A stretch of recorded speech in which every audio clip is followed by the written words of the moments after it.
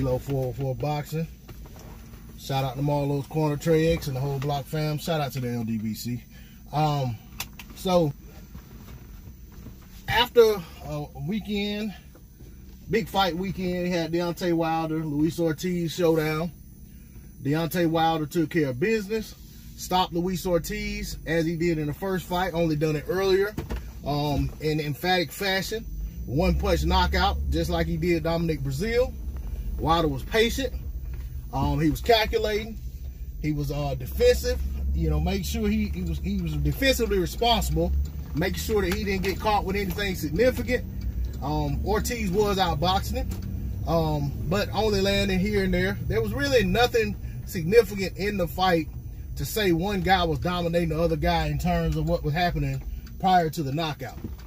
But the judges favored what Luis Ortiz was doing and gave Luis Ortiz um, the lion's share of the rounds. I think Ortiz was up on all three cards by at least um, three rounds.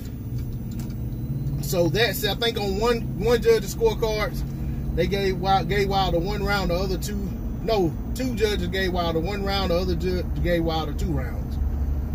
So Ortiz was uh you know if the fight continued in that pattern and Ortiz never got called, he was on his way to boxing to a, unanimous decision victory. But as we all know, Deontay Wilder has that great equalizer, that 10 um that 10 run home run, you know what I'm saying? The um 35 point touchdown pass, you know, whatever you want to call it, that can erase any deficit in a fight. And that's that that hell of a right hand he has. I was on um Main Man Made Man's uh, live stream the day of the fight. Shout out to Main Man Made Man. It may have been not the day of the fight, the night before the fight.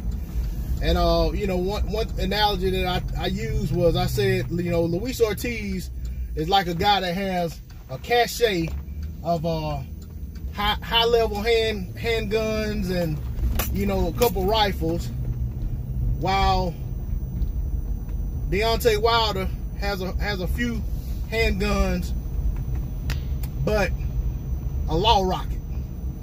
You know what I'm saying? That once he hits you with it, it's Katie bar the dough. It's lights out. Kiss the baby. And uh, that was on display. You know, Ortiz was using his skills to, to stay out front in the fight. But once Deontay Wilder uh, landed that money shot, it was good night Irene. So, uh, you know, we that's what we saw play out. I can appreciate that as a boxing fan, as a boxing fan. But a lot of so-called boxing fans find criticism in that. You know, the guy has no skill. All he has is one shot. And I'm, you know, and my argument with that is nobody can make it as far as Deontay Wilder has on one shot. These guys that he's fighting, have they they should know how to take that shot away if that's all he had. He has an uncanny ability to set his shot up with the other work that he does in rounds.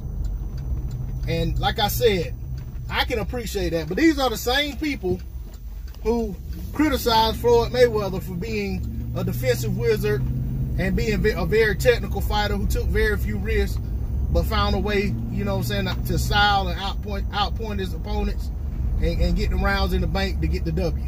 Okay? But, you know, so now that you got a knockout artist in the heavyweight division when you guys clamored for knockouts for years – you know, called the Klitschko's goes boring, so forth and so on.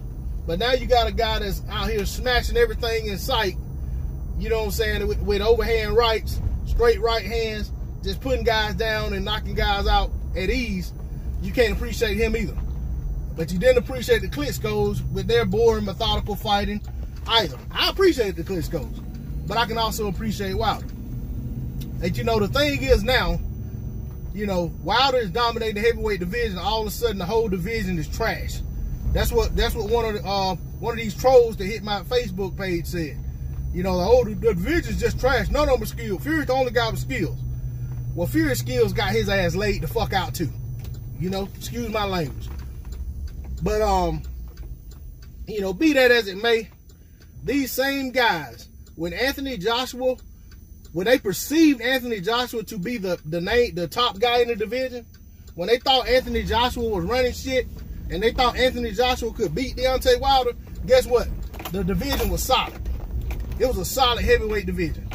But now that it's clear that Deontay Wilder is the man to beat and that AJ can't fuck with him, guess what? The whole division's trash. Nobody has any skills. Uh, the only guys with a little bit of skills is Ortiz, and he's old. Fury has great skills, and it's the Floyd Mayweather of the heavyweight division. And Andy Ruiz has a little skill, but he's out of shape. That's the narrative these motherfuckers are pushing. And excuse my language, but that that shit just gets under my skin. You know, um, give the man his credit for what he's doing. If a man is doing what nobody else done before him, he's doing something right that deserves to be credited. You know, and I hope that when Deont- when uh, Deontay Wilder steps away from the sport of boxing, that the Hall of Fame voters get it right. I hope there's none of that nonsense and BS about, well, he fought in a weak era, et cetera, et cetera, and find all these excuses, you know, because uh, a lot of these are the same guys that are criticizing him now. So I would hope that these guys give him his credit when he retires and steps away from the sport of boxing, regardless of what happens with his career from this point on. I feel like Deontay Wilder has already solidified his place with 10 successful title defenses in dominant fashion. Um, man, you got to give give credit where credit's due. But I'm, I'm gonna go ahead and end this video, and um, you know, I will be back to talk about this further.